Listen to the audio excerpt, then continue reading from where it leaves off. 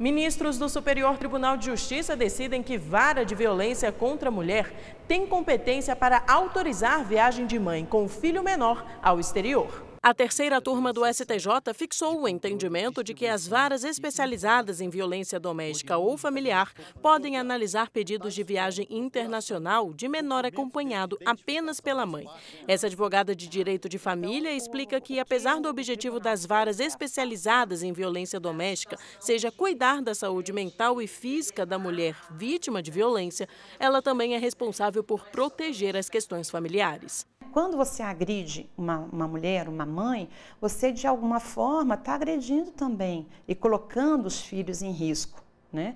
E aí, ainda, ainda que se né, caracterize, se diga que há a questão né, da, do Estatuto da Criança e do Adolescente, é, que seria né, uma, uma, vara especializada para se decidir questões de guarda, regulamentação de visita né, do menor, é, essa, essa competência ela foi estendida para a vara da violência doméstica e familiar, uma vez que, como se tem uma medida protetiva e há um risco desse agressor né, é, praticar ou continuar perpetuando a violência, então é uma forma de você também prevenir né, e resguardar o direito desse menor. Uma mulher boliviana, suposta vítima de violência física e psicológica, entrou com um pedido para voltar à terra natal com o filho de apenas um ano de idade.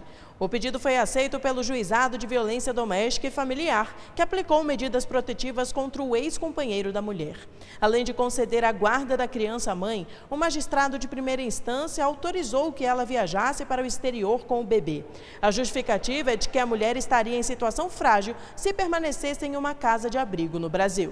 Porém, a decisão foi reformada pelo Tribunal de Justiça do DF. O TJDFT aceitou o recurso do pai da criança que se opôs à viagem da mãe e defendeu que a questão fosse analisada pela Vara da Infância e Juventude.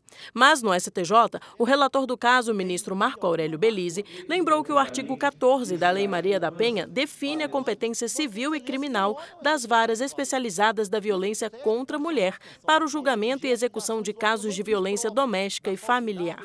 O magistrado destacou ainda que a guarda unilateral e a autorização da mulher de viajar com o filho sem a necessidade do consentimento do pai é uma medida protetiva de urgência para neutralizar a situação de violência que a mulher se encontra.